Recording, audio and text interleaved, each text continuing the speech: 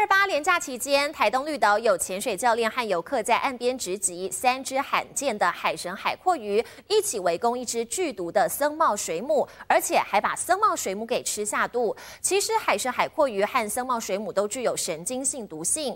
动物专家表示，僧帽水母的刺丝比较短，无法攻击海阔鱼，才会成为海阔鱼的食物。也建议游客如果在海边或是岸边看到透明的这类型生物，尽量避免碰触，才不会发生险。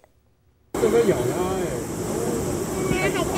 台东绿岛有游客和潜水教练直击罕见的海神海阔鱼，正在和森茂水母展开厮杀，紧咬着不放。这时候海阔鱼还有战友加入，第三只来了。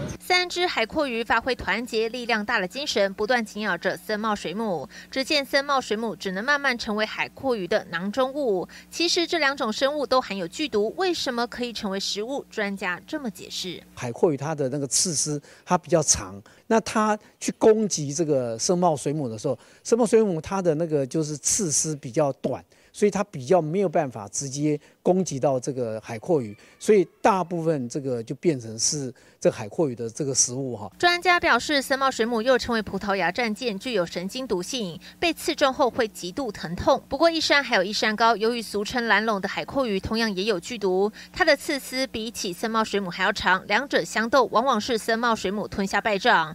专家也建议游客如果见到这几种生物，最好避而远之。就很像透明状，很像水晶体这种哈，那千万不要去碰它，因为碰它，它的那个刺丝如果碰到你的皮肤，很容易就进入你的那个毛细管就进入，那你可能就会发生致命的这种情况。专家表示，越接近夏天，无论是海阔鱼或是森茂水母，会常出现在海岸边，民众看到后最好别乱摸，才不会被刺中，发生危险。记者曾不到。